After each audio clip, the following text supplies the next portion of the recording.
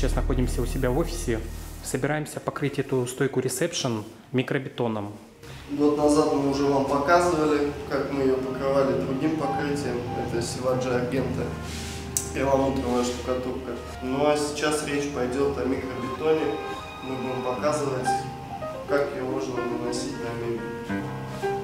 Качественно прогрунтовываем все плоскости. Грунтовку мы используем изофлекс на места стыков э, листов ДСП мы наклеили стеклохолст, точнее флизелин использовали для этих целей. В дальнейшем у нас э, не пошли трещины по швам и так далее, потому что стойка она ходит сама по себе, все-таки здесь идет нагрузка, стоит аппаратура, поэтому все стыки. Все будет покрываться микробетоном и рабочая зона, вот здесь у нас рабочая зона, здесь ноутбуки стоят. И все это будет покрыто микробетоном, все плоскости. Проходим все примыкания грунтовкой, все стыки. Также всю ламинированную плоскость, все это обрабатывается грунтовкой. После чего мы это все хорошо просушим и уже после этого только можно наносить микробетон. Грунтовка называется Изофлекс и в своем составе она имеет микрокварц гранулированный который служит хорошим связующим, и после него микробетон он не проскальзывает отдельные крошки, которые находятся в составе материала, а качественно наносится. Для этого и нужна эта грунтовка. Сейчас покажу, как у нас выглядит образец. Вот он наш образец, и мы хотим получить такую же фактуру примерно. Вот он наш материал, баночка отвердителя и сам порошок с микробетоном. По расходу такого комплекта хватает примерно на 18 метров. Сейчас взвешиваем наш материал. Мы взяли такие литровые баночки. И по килограмму отсыпаем. Короче говоря, отмеряем до 10 килограмм. Так как у нас э, используется полпорции. В нашу уже подготовленную смесь это вода с отвердителем. То есть мы берем баночку и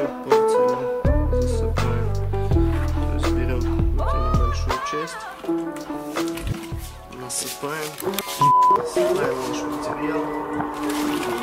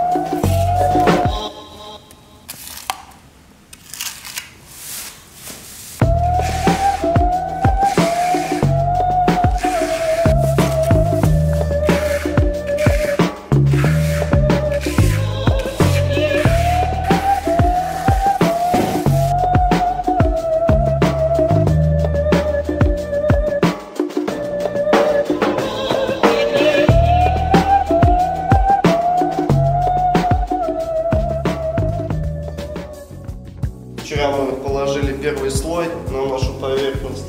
А Сегодня он у нас высох. И у нас на углах осталась такая шагрень небольшая. Мы ее будем сейчас снимать шкуркой 240 вот такой вот.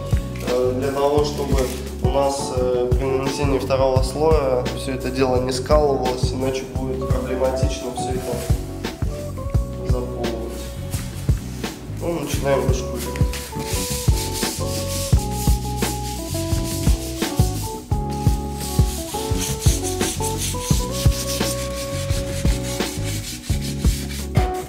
вышкуривать. Вышкуривание этого материала очень сложная, затратная по времени операция, э, так как материал очень прочный и э,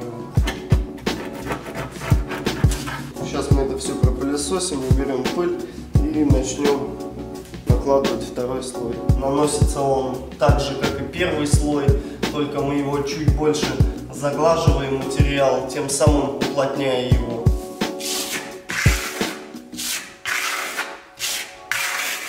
Используем более короткий шаг, да, нанесения? Да, получается. Более тщательно полируем все фрагменты.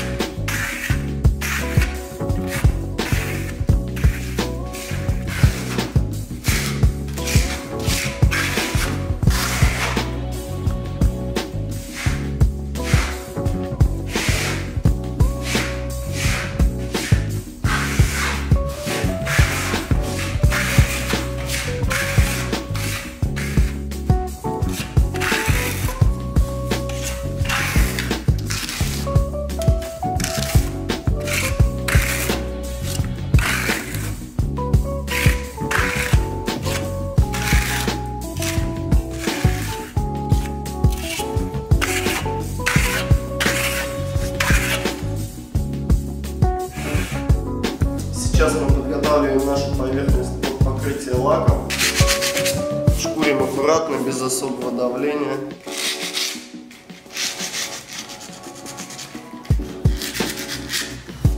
Особое внимание уделяем внешним углам. Создаем э, округлую фаску для большей практичности.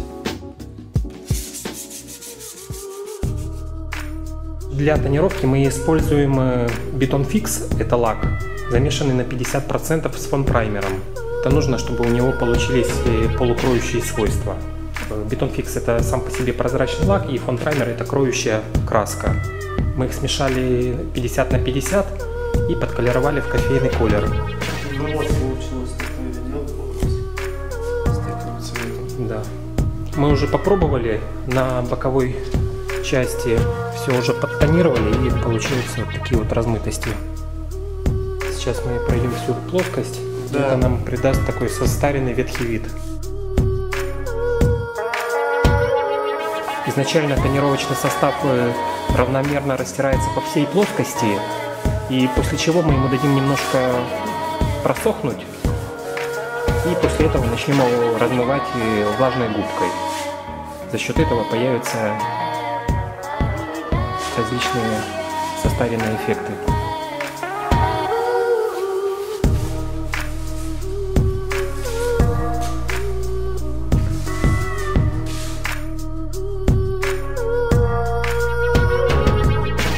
Берем различные цвета нашего тонировочного покрытия и неравномерно валиком э, наносим, делая переходы.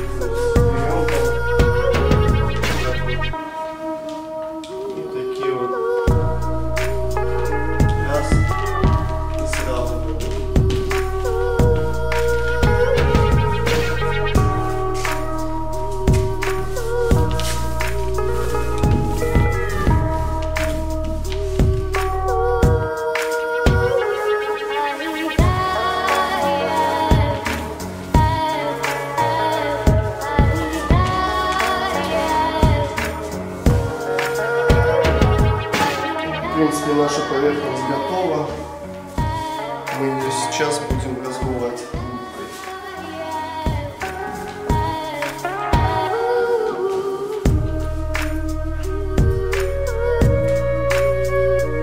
Для полной картинки мы пускаем подтеки такими вот небольшими каплями. Подтеки у нас из разных цветов.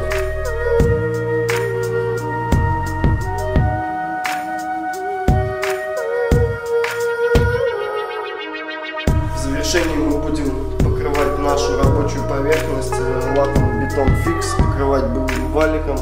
Почему именно им, а не губкой? Потому что ну, именно синей губкой у нас будет размываться наш рисунок.